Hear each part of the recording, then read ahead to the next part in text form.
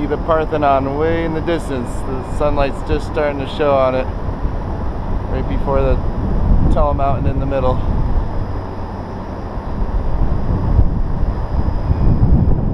To the left of those solar water heaters. or between the two that you see in the front. And that stadium right there is a basketball stadium.